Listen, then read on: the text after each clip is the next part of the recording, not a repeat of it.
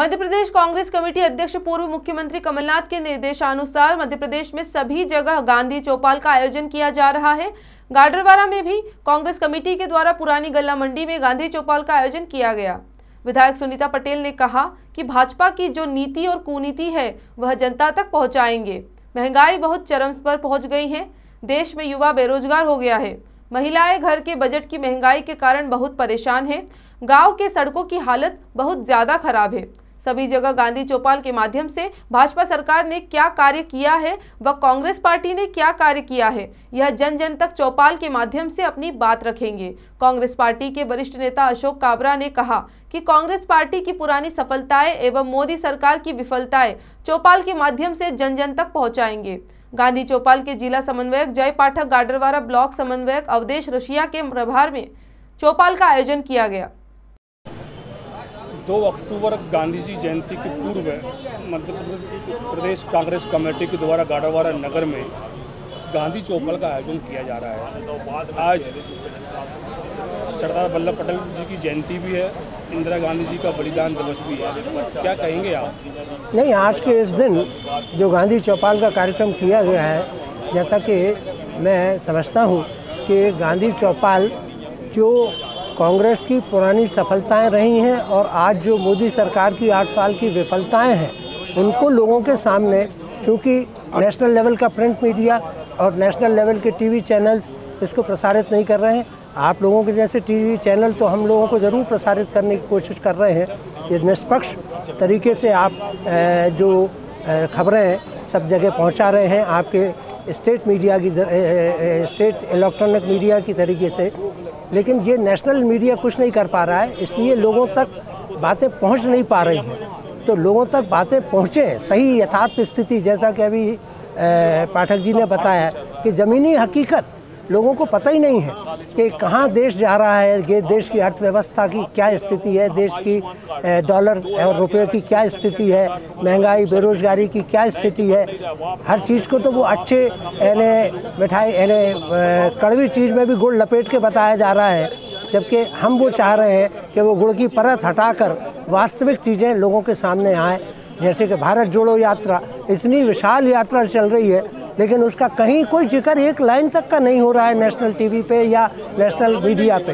तो ये चीज़ें पहुँचे कैसे लोगों के पास? इसलिए प्रदेश कांग्रेस ने ये निश्चित किया कि चौपाल के माध्यम से हम जन जन को वास्तविकता बताएँ कि वास्तव में क्या है और राष्ट्रीय स्तर पर राहुल गांधी का नेतृत्व जिस ढंग से उभर रहा है, मोदी जी के कंपैरिजन में, मोदी जी की टक्कर में राहुल गांधी का जो व्यक्तित्व आज निखर के आ रहा है, जिन्हें लोग पहले पप्पू करने के लिए, पप्पू साबित करने के लिए पिछले आठ सालों में करोड़ों, अरबों रुपए खर्च कर दिए गए, वो इमेज अब आज राहुल गांधी की राष्ट्रीय स्तर के नेता के रूप में की जा रही है। मोदी जी के समकक्ष उनको माना जा रहा है।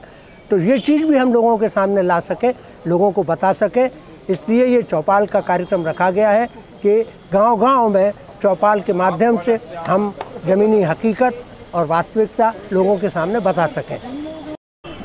मध्य प्रदेश कांग्रेस कमेटी के द्वारा यह गांधी चौपाल।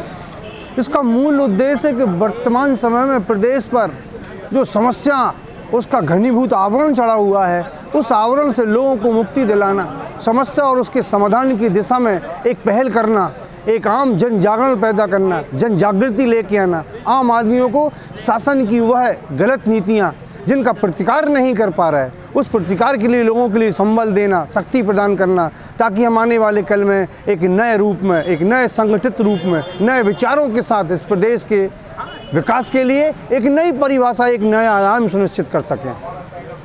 और मैं समस्त क्षेत्रवासियों से यही कहना चाहता हूँ कि हमारा यह जो गांधी चौपाल कार्यक्रम है, इस गांधी चौपाल के माध्यम से हम इस छोटे से छोटे से आंदोलन के रूप में एक जन जागरण पैदा करना चाहते हैं।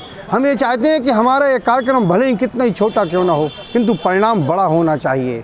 और हम उसी परिणाम के लिए आम जन जन तक जाएँगे, एक ग्रामीण लेवल पर जाएँगे, क्योंकि भारत एक ग्रामों का देश है, हमारी आत्मा ग्रामों में बसती है तो हम इस सरकार की जो विघटनकारी नीतियाँ हैं, इस सरकार की जो लोगों को तोड़ने की नीतियाँ हैं, इन नीतियों के खिलाफ एक जन आंदोलन पैदा करना चाहते हैं ताकि इस देश को और इस प्रदेश को एक सुरक्षित और आने वाले कल के एक अच्छे निर्माण के लिए हम एक जिम्मेदार लोग साबित हो सके। गांधी जी की चौपाल का कार्यक्रम हम लोग सुनिश्चित कर रहे हैं। हमारे जो समन्वयक बने हुए हैं, हम लोग एक मीटिंग करेंगे और मंडल सेक्टर वाले सब लोग बैठ के चर्चा करेंगे कि विधानसभा में किस किस जगह पर किस किस तारीख को होना है, उस हिसाब से अपना कार्यक्रम तैयार करेंगे।